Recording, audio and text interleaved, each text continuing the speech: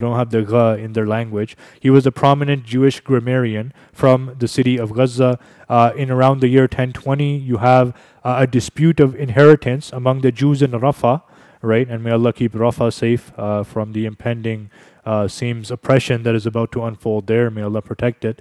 Uh, it was so this dispute was brought to a Muslim court because the Jews couldn't settle it among themselves. So they went to the local qadi and they tried to get him to settle it. The next one is probably the most interesting one. So later on at the bottom you see that the two Jewish communities that were very closely connected were Fustat and Gaza, right? And Fustat would later become which city? In the Middle East. Ummad Dunya. Cairo, right? Cairo. Um, so Fustat would later develop, like beside it, would develop into the city of Cairo. Um, and, and you see in the last point there, but I want to focus on the middle point. In the year 1052, a group of Jews from Jerusalem and Gaza visited fields near Gaza, including the property of the Qadi of Gaza, whose name was Salama bin Mahmud, to test the Aviv. Have you guys heard this word before, Aviv? Right? What's the capital of Israel? Tel Aviv right? Tel means hill, and Aviv refers to the ripeness of the growing grain. And this is a specific thing in the, the Jewish religion that this is one of the ways by which they mark their calendar. So this was a calendar dispute. By the way, the other way that they mark their calendar, the other Jews, is by moon sighting, right? So you can think of this as the moon sighting versus calculation debate in the Jewish tradition that is unfolding in the city of Gaza a thousand years ago under Muslim rule and in consultation with the local Qadi of the Muslim Salama bin Mahmud. And they wanted to determine whether that year could be a leap year. Um, and Gaza was considered by the Jews of the time in their writing it says the extremity of Palestine so it's one of the extremities one of the corners of Palestine and so checking the Aviv there was important so they could establish some consistency in their calculations throughout the region of Palestine. So they're active, they are there, they're able to practice their religion, sometimes with the cooperation of the local Muslim authorities.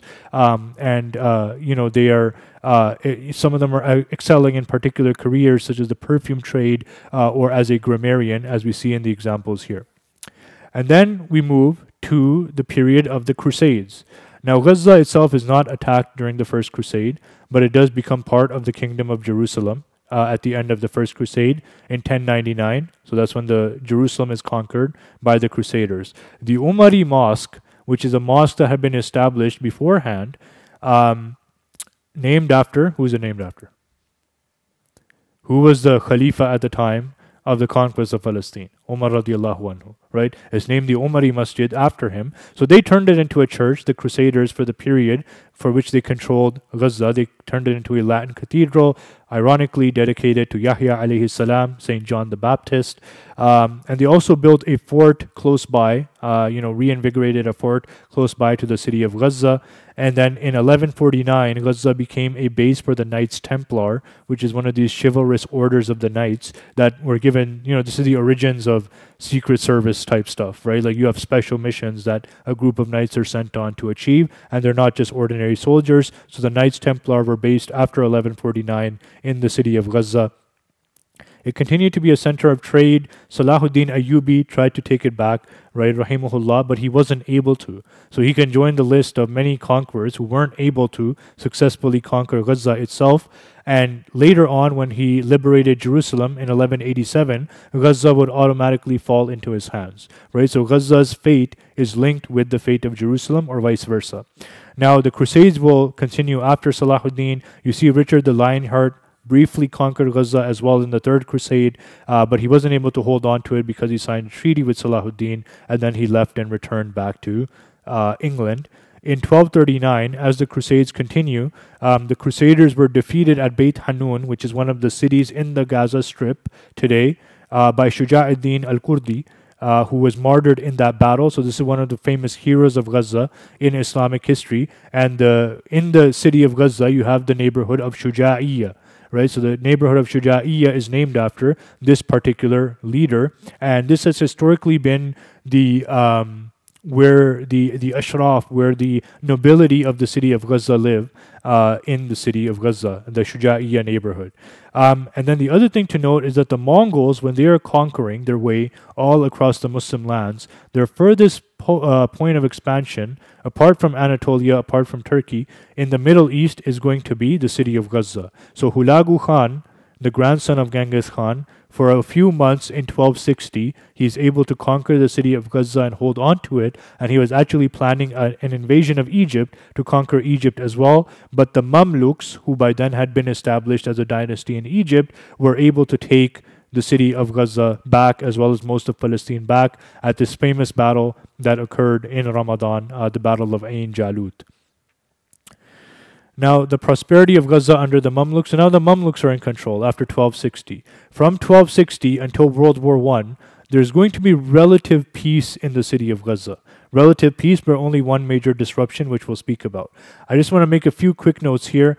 When the Muslims have now reestablished control in the region, they rebuild the Umari Masjid in 1260, right? And they make a library, a famous library, with containing 20,000 books uh, in the year 1260 is established along with the Umari Masjid. Um, they also establish a Han in Khan Yunus, right? So I just gave it away. It's named after him. Amir Yunus al Nawruzi establishes a Han, which is basically like a motel for merchants. So they're really encouraging trade. They're really reestablishing Gaza as a center of trade, a center of cultural exchange. That happened in 1387.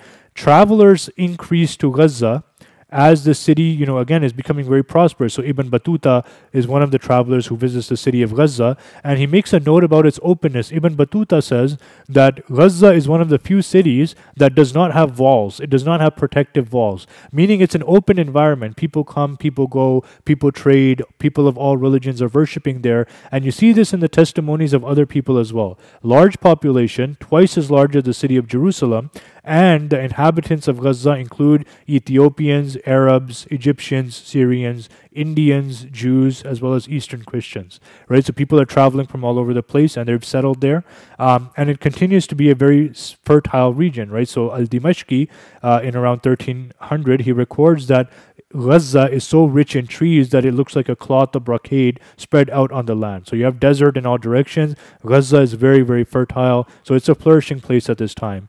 And there's also an increase in Jewish travel, particularly from Europe, to the city of Gaza at this time. Um, and you see there uh, one of the testimonies uh, by one of the rabbis who comes from Italy in 1481 to visit the city of Gaza. He says the Arabs call the city Gaza. It's good and praiseworthy land. Its fruits are amazing. Good bread and wine are to be had here. Historically, these are the two most important industries um, that Gaza is linked to. So I'll stop there. He says the latter is made only by the Jews. So the Jews are allowed under Muslim rule to continue even their wine making industry, right? To do that work that they used to do. But I just want to go back to the previous point Gaza is a bread basket because it's very fertile, right? And so its uh, bread is going to reach very far and be used in very different ways. So, for example, until the modern period, for the Hujjaj, for anyone who went for Umrah and Hajj, bread would be imported from Gaza. So Gaza would export bread that was used to feed the Hujjaj, or you know, export the grains basically that would then be turned into bread to feed the Hujjaj. At the same time, exports from Gaza would go all over Europe. And if you look at old British newspapers, you will see advertisements for alcohol. And it will say that this alcohol has been specially prepared with barley that was brought from the city of Gaza right? So in that sense, it was also uh, a very important source of barley that, as we know from those advertising, is going all the way to the UK as well. And this is way before uh, the UK actually got involved uh, in the region. And you see there, the inhabitants of the city are numerous, including 60 Jewish families and four Samaritan families. This is an old picture of the, the motel that we mentioned, the Caravanserai, Khan Yunus, right, around which the city of Khan Yunus would develop. Um, Jews in Gaza under the Ottomans is basically the same story as before. You can quickly take a picture because I'm just going to move on to the next slide uh, for lack of time here. Um, this is the turning point. Napoleon. You guys have heard of Napoleon? Not the rapper, guys. right? There's a rapper Napoleon as well that many of the youth seem to confuse my Napoleon with uh, in presentations on history, ironically enough. So, nevertheless, Napoleon Bonaparte the French military general and later on the French emperor, is a very adventurous individual, very, very interesting individual, and his decisions had long lasting consequences for the Middle East as we know it today. So, Napoleon invades Italy, right? And early on in his career, the French Empire is expanding. He invades Italy, and when he reaches Italy, he sees the Jews of Italy living in ghettos. Like, you know, Italy is a Catholic uh, you know, power at the time, obviously. And he sees the Jews of Italy. They're living in ghettos. They're subjugated. They're in very difficult conditions. And the Jews, for their and what he decides to do as part of his liberation of Italy is also liberate the Jews, right? So he he makes them all kinds of promises, and he promises to free them. And it is said that he had this kind of ambition to be like Cyrus the Great. What did Cyrus the Great do? Does anyone remember? He reestablished the Jews where? Back in Jerusalem, back in Palestine, right? And that's something that Cyrus the Great was celebrated by Christian Europe throughout history. This Persian emperor, who was non Christian, but he was celebrated um, uh, for that reason, for or among the reasons, because he reestablished the Jews in Palestine.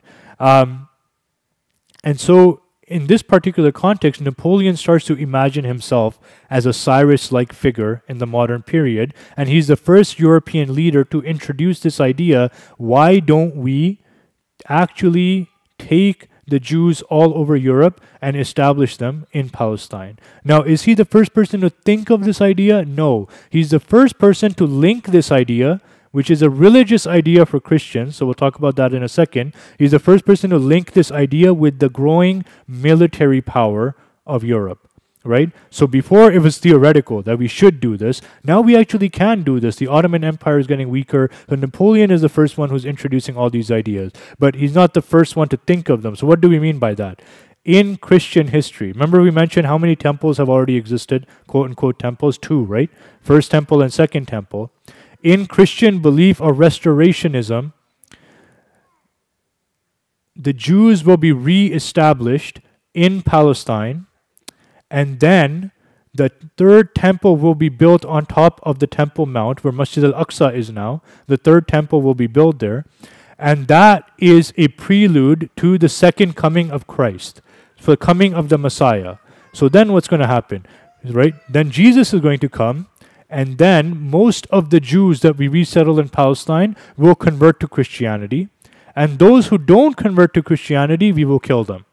Right? So imagine this. First, we will resettle them there. We'll help them rebuild the third temple. Jesus will come and we will convert them to Christianity. Whoever doesn't want to convert, we will simply kill them. And then there will be the messianic age 1,000 years of peace. Right? This is Christian belief, core Christian belief that all of this is going to happen. These are this is their version of the signs of day of judgment, right? Except I would humbly say quite a lot more ridiculous, right? So what Napoleon says is that hey, we know all of this is supposed to happen. Why don't we actually make it happen? Why don't I become the Messiah in the sense that preludes to the actual coming of Jesus Christ. Who doesn't want to meet Jesus, right? Even to this day, which is why the idea of Christian Zionism is so important to the existence of Israel. Without Christian Zionism, it's very, very difficult to imagine that Israel would have ever existed. There's more Zionists who are Christian in the Bible Belt in the southern United States than there are Jews in the entire world. Right? There are not that many Jews in the entire world, but there are so many Christian Zionists for whom this is part of their belief. They are trying to hearken the second coming of Jesus by doing this. We will reestablish the Jews in Palestine. They will rebuild the third temple, right? And then Jesus will come, and as I explained, the story will proceed. So, this belief of restorationism quickly becomes, when the Zionist movement emerges among the Jews, right? It quickly becomes molded into what we know today as Christian Zionism. And many of the Jews in Napoleon's time actually begin to think of him as the Messiah, as the Jewish Messiah right? That he is liberating the Jews and he is promising to reestablish the Jews in Palestine. What Napoleon is actually interested in, which will always be the case, more interested in, is basically giving the French an edge over the British. For the British, India is now their lifeline. They have conquered India, they have established control over India, and all the other European empires are just trying somehow to cut off Britain from India because as long as Britain has India, it is too powerful. There is too much manpower, too many natural resources in India for any of the other empires to really be able to compete on the world stage. So Napoleon is writing letters to Tipu Sultan right, who was one of the Muslim rulers of South India, who was fighting against the British. He's writing letters to local Arab chieftains in what is now Dubai and Oman and uh, Qatar and all of these places. He's trying to get anyone in the Indian Ocean who is interested in cooperating with the French to rise up against British rule, and he says the French will support you. Now, also, he wants to control the land bridge, right? So, after he's done conquering Italy, he gets permission from the French government to invade Egypt. He invades Egypt. His invasion of Egypt is not particularly successful, but he also invades Palestine. Right, he's trying to get any foothold in that particular region, and so Napoleon invades Palestine. As you can see there, he captures the city of Gaza, he captures the city of Jaffa, he lays siege to the city of Akka for two months in March 1799, and even the French sources uh, extol the bravery of Al Jazar and the Ottoman soldiers who were defending the city of Akka from Napoleon. Al Jazar was Bosnian, so this is the famous Bosnian defender of Palestine from Napoleon's invasion. Also, Al Jazar uh, he had many of the Palestinian Jews fighting against Napoleon as well. Um, so the local Jews were not so much interested in, you know, Napoleon's crazy plans to resettle all the Jews of Europe in Palestine, etc. They were actually defending the Ottoman Empire and fighting for it. Similar ideas were also, as you can see there, uh, circulating among the Russians, the Empress Catherine the Great, etc. Um, and so ultimately, Napoleon, because of other reasons, he's not able to hold on to Palestine. He's not able to hold on to Egypt. So he's not able to actually live his dream that he had had. But he's introduced this dream into the European leaders who are very impressed by his success. He is the modern Alexander. He is the modern Cyrus the Great. He nearly achieved what every, everyone thought was impossible. He nearly reunited all of Europe under his rule right? This one French general, Napoleon Bonaparte, but ultimately, of course, he will be defeated.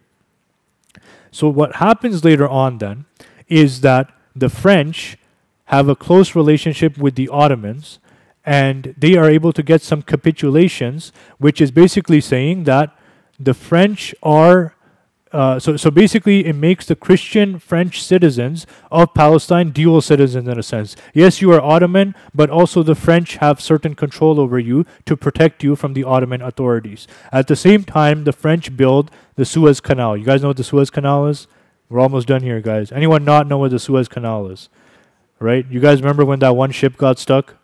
like two years ago or something, and the whole world was like shutting down because the Suez Canal was blocked. So that's in the modern time imagine centuries earlier, right? So the Suez Canal is established in 1869 by the French, by a French company that has special permission from the Ottomans to establish the Suez Canal.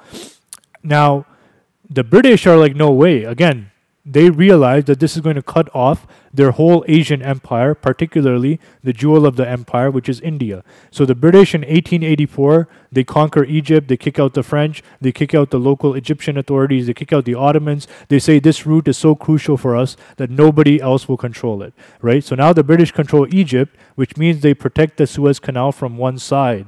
But what is on the other side of the Suez Canal?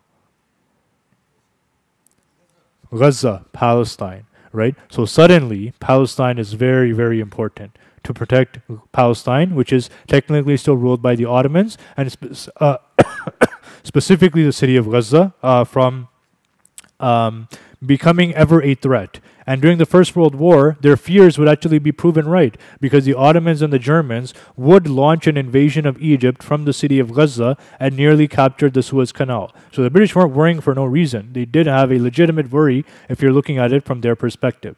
Now, what's going to happen then is all of these factors are going to combine. You have the desire to protect the Suez Canal, which is a huge lifeline for your trade, for your military movements, everything like that. You have the messianic fantasies, which I described earlier restorationism, Christian Zionism. You have this rhetoric of modernization right? That the Ottomans are incapable of modernizing Palestine. Only a European power can do it. Only the British can do it. And this rhetoric is actually what is pushed by the Zionist movement. They say, no, not even you guys, we'll do it for you. Just militarily help us take the land of Palestine. We will modernize it. And they have continued to use this rhetoric. Why? Because it resonates in the West, right? So the Zionist propaganda is always linked to the rhetoric of modernization. Netanyahu said a few years ago that if Hamas was to leave Gaza, we in a few years we will turn Gaza into the Singapore of Asia, right, or the Singapore of the Middle East, whatever his precise words were, right? He says no, these are like some backwards, crazy people, etc., etc. If Hamas was to leave, this would be like Singapore tomorrow right, the city of Gaza. So this rhetoric of modernization continues even today. The Ottomans engage with the Zionist movement. The Zionist movement approaches the Ottomans, also seeking their help to establish themselves in Palestine. And basically, the Ottomans are not interested at all, right? And the Ottomans get a lot of flack because of a lot of misinformation that they let the Zionist movement come in too early. In fact, the Ottomans were super, super cautious, right? They were super cautious of actually letting um, uh, beyond like small scale Jewish migration, you know, pilgrimage and other things that had already gone on for centuries, right? As some small farming families, settlement, etc. If you actually read the history, the Ottomans were super protective of Palestine against the uh, Zionist movement. Nevertheless, the Ottomans are losing control in general. So you have the First World War, and during the First World War, Palestine is promised to three different parties. It's promised to the Jews in the Balfour Declaration. The British don't actually control Palestine yet. It's not theirs to give away, but they're promising it anyway. They're saying we will defeat the Ottoman Empire and then we will give it to the Jews. Balfour Declaration. Secondly, you have the McMahon Hussein correspondence. Sharif Hussein was the person in charge over Hijaz in Mecca and Medina, specifically in the city of Mecca, right? And he's from the Banu Hashim, right? From the tribe of the Prophet. So he works with the British to organize the Arab revolt against the Ottomans, right? Because they say that the Ottoman Empire is going to fall anyways, but we want to give Palestine and Syria and all of this region to you Arabs. So help us out. We'll just reestablish you there, right? And not realizing how they're going to be deceived. But so you promise it to the Jews, you promise it to the Muslim Arabs, and now, what are you doing actually, secretly? You have your officials, Sykes and Picot, who are taking a map of the Middle East, drawing lines. Here's your strategic interest. here's my strategic interests, etc., etc. And that is how they're going to actually divide up the Middle East. Now, the war ends, and Palestine is conquered in December of 1917. You see the battles of Gaza there, the first and the second battle of Gaza. So the British were not able to conquer uh, Jerusalem until they actually defeated Gaza, and it would take them three battles. And in fact, in the first two battles, there were a lot of Canadians, uh, including Canadian officials, who fought for the British in the Battle of Gaza. Uh, and some of them, because the British were so thoroughly humiliated and defeated, some of them were actually sent packing back to Canada. They were dismissed from service because of their poor performance on the battlefield. Um, nevertheless, in 1917, uh, Jerusalem will fall to the British. Now, the British occupation begins in 1917. And the British say that um, they go to the League of Nations, which is the precursor to the United Nations after the war, and they say, hey, give us the mandate over Palestine, right? We're the ones who created this mess. We will clean it up. We promised it to the Jews. We promised it to the Arabs, etc., etc., right? So we'll, we'll be the ones to clean it up. Just give us a certain sort of mandate. So they try that, again, pursuing actually their own colonial imperial interests, right? The world is changing, so they can't just go in and say, oh, we want to add Palestine to our empire. They say, give us a mandate to manage Palestine until the locals are ready to basically rule Palestine for themselves, etc. So that's the mandatory Palestine, the mandate of Palestine that is going to last from 1920 until 1948, including the Second World War. And during the Second World War, the Germans and the Italians threatened to attack Palestine. And the German army, the Nazi army, is marching through North Africa towards Egypt, and they say, We're going to take Palestine. Again, Suez Canal. Everybody wants the Suez Canal so they can cut off the British, right? And so um, uh, the uh, British say basically, um, or basically the Zionist movement comes to the British and they say, hey, just give us guns. We will defend Palestine, right? We're the ones who you've reestablished here. But who are those guns actually for, right? Who are those guns? What are those guns actually going to be used for? They're going to be used for the Nakba. So the British during the Second World War, they heavily armed the Zionists in Palestine because the Zionists say we are going to serve in the military. We're going to serve as a paramilitary force. We will defend Palestine from anyone. And the British are like, yeah, yeah, that's amazing. Why? Because obviously we don't want to lose the Suez Canal. Same old logic. But as soon as the war ends, the British are too weak now. They leave India. They create the partition of India. India, Pakistan, Bangladesh messy situation will continue for decades until today. They'll do similar partitions in other parts of the world, including in Palestine, a very, very messy UN partition plan, not really factoring in the fact that, hey, we armed a bunch of people. What do you think is going to happen if we suddenly leave, right? So the Zionists then carry out what's known as the Nakba in 1948 as part of the establishment of the state uh, of Israel. So that's where my presentation typically ends. The modern history of Gaza and Palestine would require a lot more time to go through because there's a lot of false information and there's a lot of concepts that have to be very, you know, detailed uh, discussions are required to really understand what happened there. Here's a general, you know, the visualizing project, uh, Palestine project is a Canadian project. It's based in Vancouver. It's these scholars and these graphic designers who come together to make these amazing infographics about um, the history of Palestine as well as the current situation there. So I highly encourage you to check out the visualizing Palestine project and to support it. But as we can see, as I mentioned earlier, revisionist Zionism trying to control as much territory as possible. Um, the Israelis themselves tried to conquer the Suez Canal as well. They tried to take control of Gaza. For the same reasons as throughout history, it has been so strategic and so important and so coveted. Uh, it continues to be so. Finally, before we get into the Q and A, I just want to draw your attention to uh, these books. Um, if you can only read three books on the history of Palestine, and I think we can all read three books on the history of Palestine, inshallah. We are curious about this topic and it's important for us to learn. I would recommend these three books to you. Um, they're very detailed, very well researched, very easy to read, and they're easy to find as well. So you can purchase them, inshallah, or maybe check your local library or something to that effect. Uh, and again, if you have to leave, please go ahead. Jazakumullah khairan everyone for attending, for listening. Please pass on this information. We will begin the Q&A, but before we begin the Q&A, I just want to say one more thing. Um, I'm on this tour with Sakina Canada. Um, Sakina Canada isn't a history educational organization, right?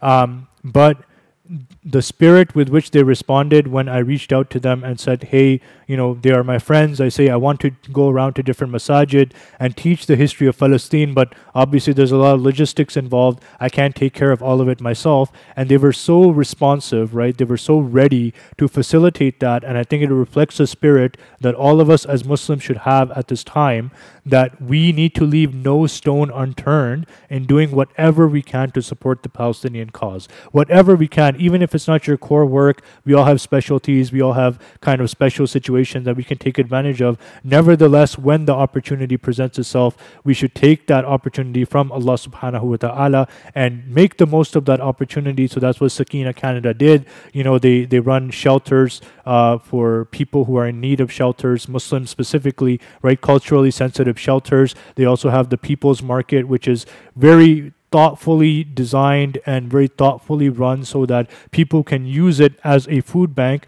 without you know feeling demeaned in any way or anything like that. So they are uh, doing a lot to serve the local Muslim community. We know it's a difficult economic situation for a lot of people. It's getting worse. So please, I encourage you, please do support them. Uh, support all of their work. Go over there uh, to their table and please donate if you can. Spread the word about their work. Uh, connect people who may be benefiting, able to benefit from their services to them, etc. All of these are things that you can do to support them, inshallah. Jazakumullahu khairan. Um, and I will take questions, easy ones only. no hard questions, please. Any questions?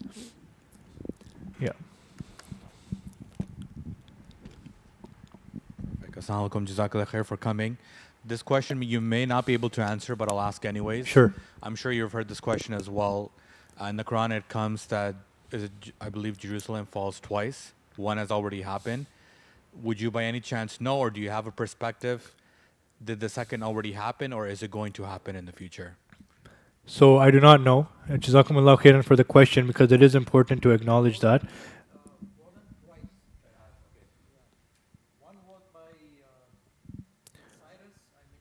Nebuchadnezzar, yeah.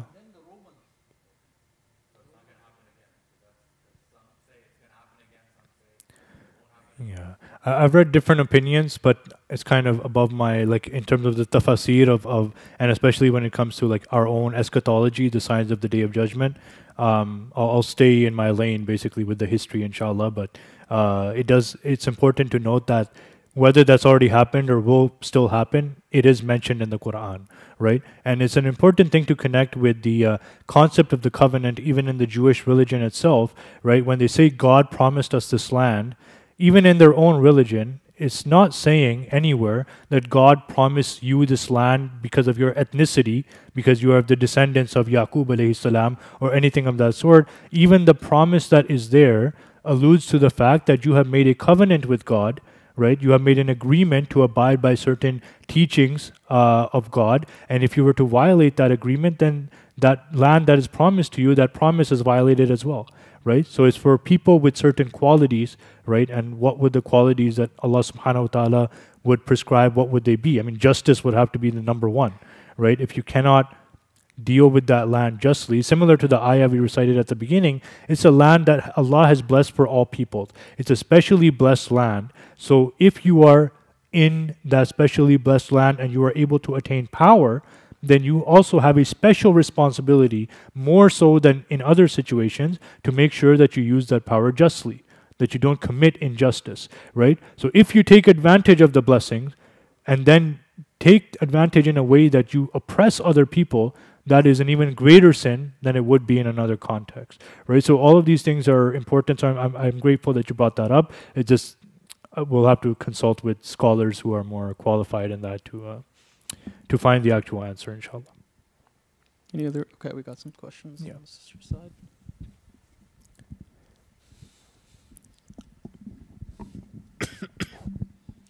First of all, um, Jazakallahu khair for this informative lecture. It's Wa been iyyakum. amazing. Um, my question is the current day Jews who are living in Palestine, some people claim that they are not part of the original 12 t- tribes of Bani Israel. And some people claim that they came from Khazar, who are, I think they used to be in Romania. They Yeah. decided to convert to Judaism. My question to you is, um, and in, it's in Surah Isra, لتعلون علوا كبيرا uh, uh, لتفسدن في الأرض مرتين. do you think the same verse would be applicable to people who are actually not from the original 12 tribes of Bani Israel? What's your interpretation of that? So that's another interesting question that I'll say right off the bat. I don't know the answer to. Right, I have not looked into that. I haven't studied that. Um, I know a little bit about the the Khazarian origin thesis. Um, people, some people take that even further and link it to Yajuj and Majuj and all kinds of. You know, it's, a, it's an entire field in itself that I haven't really had the chance to explore. Um, I do think that the question of ethnicity, right, is important to address because you will find in the Zionist framework of arguments when they try to argue, they will try to move away from the messiness of history, right? They don't want to get into the nitty gritty of the history necessarily, right? All they want to say is that we were here for thousands of years before in the past at some point. But what they are very eager to do is get into questions about um, ethnicity. Despite, ironically, like those genetic tests, those DNA tests are banned in Israel, right? For a reason. You actually cannot take it. And you find Jews like on TikTok and things like that, they come to the United States just to get a genetic test, just to find out. And then they find the results that they are not from some kind of pure Jewish ancestry or something like that, and they're shocked, right? The results are from all over the place, from Africa, from Asia. There are a mixture of people, right? So that's one aspect to keep in mind. The other thing I will say is that um, I, I think it's important, even with this history that I presented to you, even with questions about ethnicity, etc., right? Let's say that your argument is valid. Let's say that you, like your argument that Jews were here and then they were forcibly removed, and that's why they have a right now to come and reestablish themselves here in Palestine, or your argument that the Jewish people of Israel today are direct descendants of those ancient people who lived for hundreds of years in Palestine, etc. In all of these things, how does that justify the oppression that you are committing? Right? So, this is where I think that in our anti oppression work, in our pro justice work, it can become a distraction to get involved in these kinds of discussions, right? Let's say everything you say was true about the past, about history, your entire narrative is true. How does that still justify the oppression that you are committing? You know, like you, you were denied your rights in history and you were expelled by the Romans and your temple was destroyed and, you know, your ancestors who you are a direct descendant of apparently have now come back and reestablished themselves. How does that justify killing little children in Gaza? Right? So while I don't have, I'm not saying this is the answer to your question because I don't have the answer. I apologize. That's something that I have to study and look into, inshallah. But nevertheless, it's important for us to use the history in a very intelligent way, but make sure the history itself doesn't become a distraction, right? Let's say the entire history, none of it existed. Everything started, let's say even everything started on October 7th. Let's say, the way they say it, you know, they act as if everything started on October 7th. Even in that case, how do you justify? And can any other people who are in conflict in any other part of the world, can they use the same justification to commit the atrocities that you are now committing? Right, so that's that's a, couple of important aspects to keep in mind, but it's it's a good question. Inshallah, we'll hopefully someday discuss the answer. Jazakumullah khairan. Um, yeah, sorry. Assalamu alaikum. Um, Walaikum I think you answered. Um, I was my question was very similar, so I'll maybe reframe my question. Um, so, would you say then the term the term Zionism, which is um, the um, the belief that you know Jews have the right to for self determination and establishing their sovereignty on indigenous land, would you say that then that we should not be sort of questioning indigeneity? Uh, because it's sort of is a big question mark around whether they were for sure part of the people that originally lived there. Um, as a historian, how would you tackle that? Like, what should we as Muslim kind of um, address Zionism within just its short term, like meaning of what the definition is? And then a, a very simple question is the word Gaza uh, derived from Ghazwa, like because of battles? What's the origin? Uh, no, so I think you came a bit, late. We actually Okay. uh, discussed both of those questions. I did come late. So yeah, no problem. So the word Gaza, uh, the most common origin is it's a very very old name, but the most common origin is an ancient Egyptian uh, language. It's the city of Ghazat, the prize city, right? So it comes from an ancient Egyptian uh, language. Is the the most common uh, accepted theory.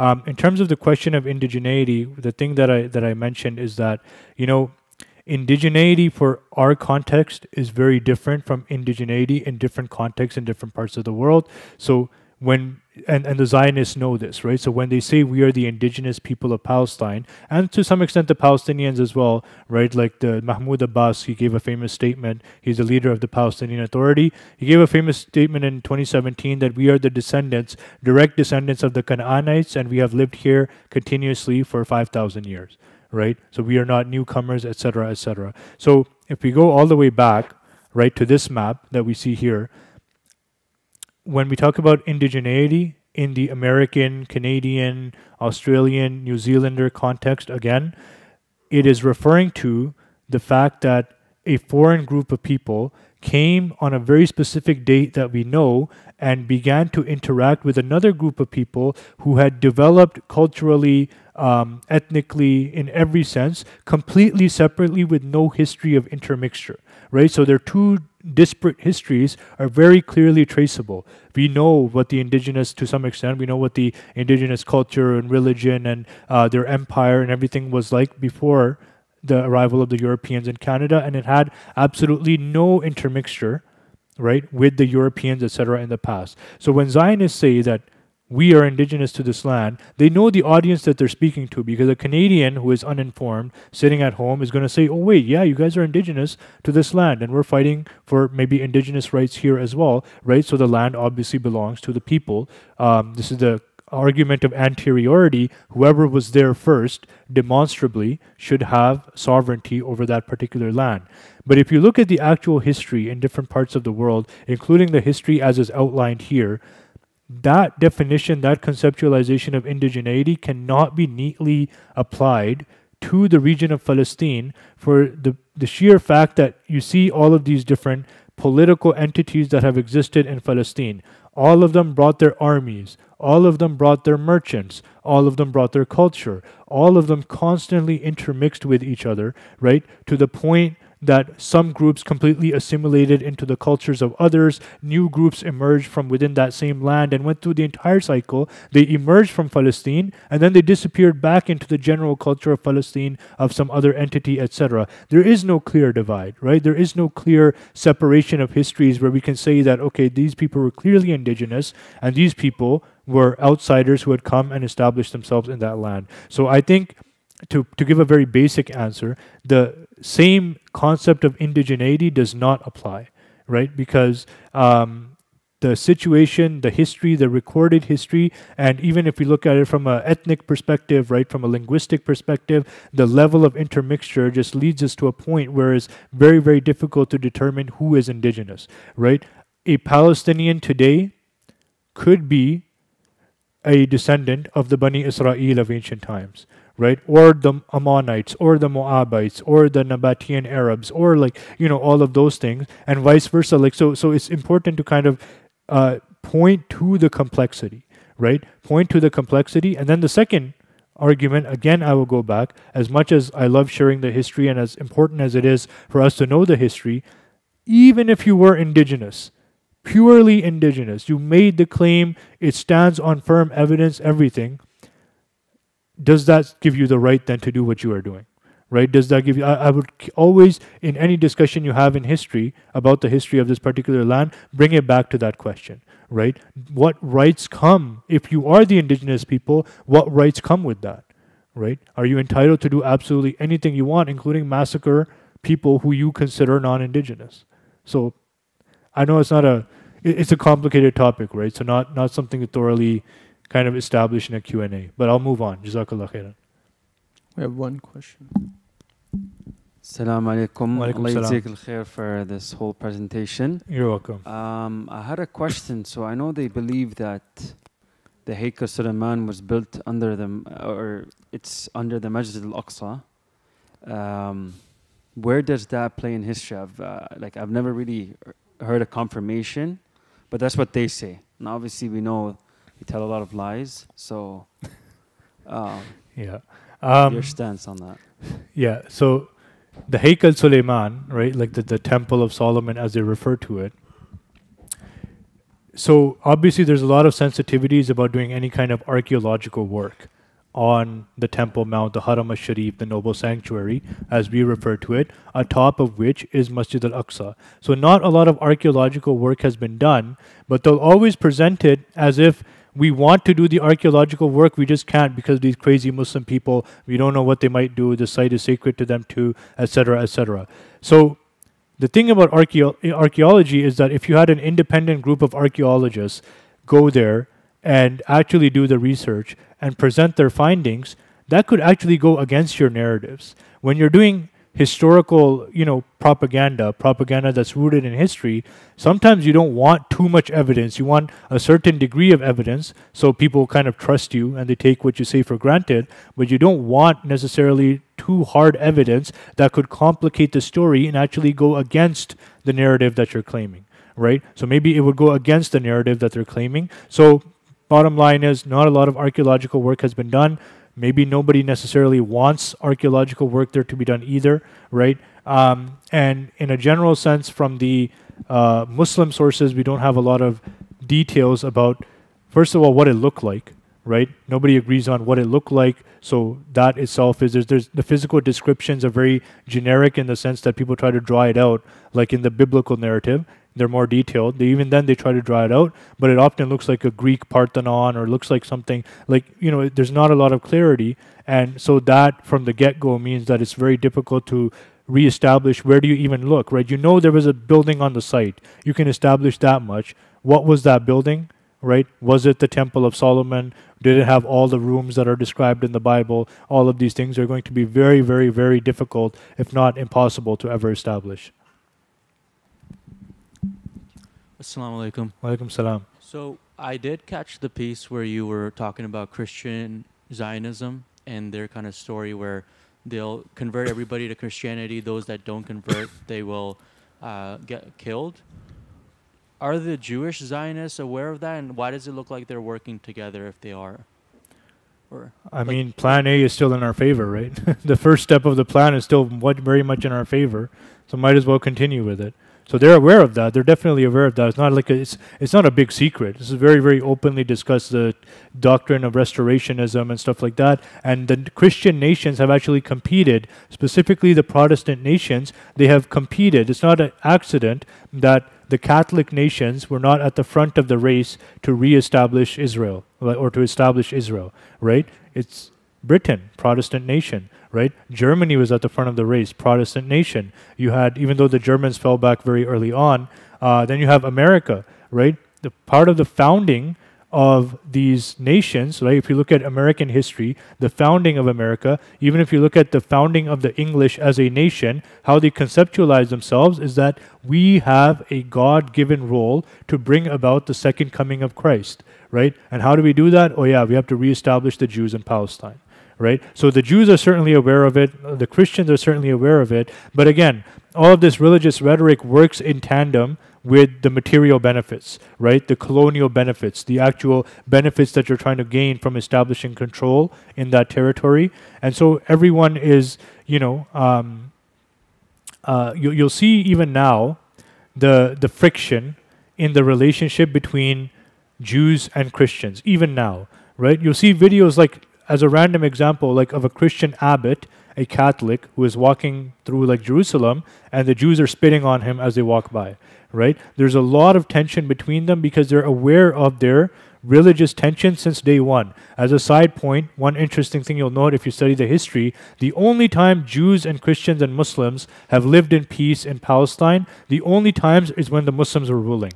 Not during the Crusades when the Christians were ruling, not in Israel when the Jews are ruling, right? And not in ancient times before Islam when the Christians were ruling over the Jews. There's never been peace. Always tension and conflict and things of that sort. The only prolonged period of peace was during Muslim rule because they do have those frictions. They are aware of each other's teachings about each other, right? And so, but at the same time, when the colonial material benefits are available, yeah, yeah, like let's, okay, let's get through phase one. Let's establish Israel first, and then whatever that biblical stuff is about the second coming and whatever they want to do, etc., etc., we will do that, right? Which is why they don't hesitate to call their closest allies anti-Semitic very, very easily.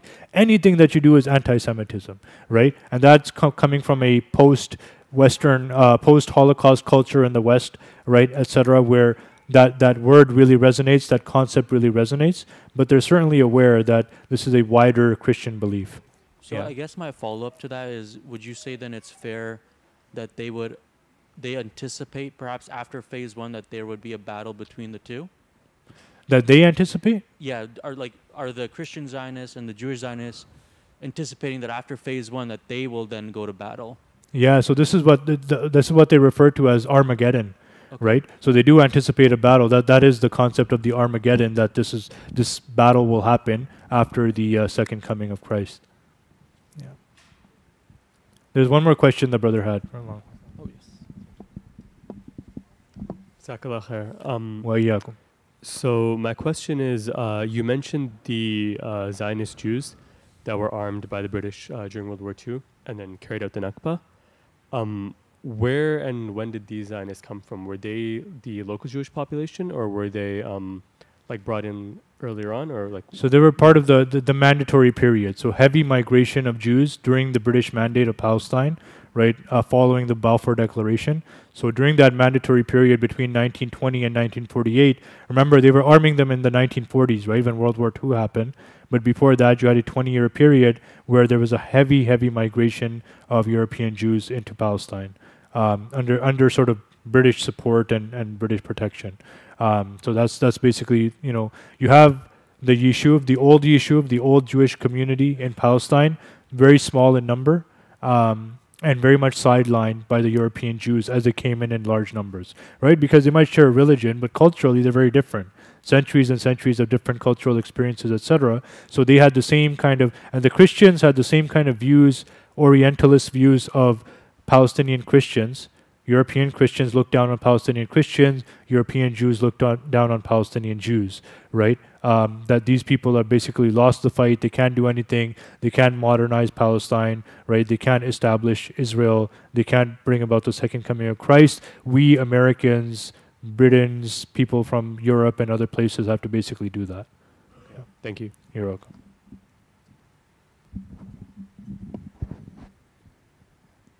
Any other questions? I think we're good to go. I know you wanted to be on your way. inshallah. Yeah, I got a I got a long day ahead of me still, inshallah. So Okay, I appreciate you guys coming, and um, yeah, uh, hopefully we can use this information uh, in a beneficial way. May Allah accept this gathering from us. May Allah forgive us for all our errors, and may Allah guide us to the best of knowledge and guide us to act upon it in the best of ways that are pleasing to Him, and make this a small contribution from us. Uh, as a means towards the establishment of His justice for our brothers and sisters in Palestine. Allahumma ameen wa akhiru da'wana alhamdulillahi rabbil alameen. Jazakumullah khair. Thank you so much for, for coming and for taking the time to, to uh, take us through this very informative uh, session. And uh, again, we want to give a special shout out and thanks to Sakina Canada. And they have their desk. We encourage all of you to please talk to them on your way out and, and talk to them about the, the excellent work that they're doing. And um, inshallah, support them financially and through other means as well. Jazakumullah khair. Wassalamu alaikum wa rahmatullahi wa barakatuh.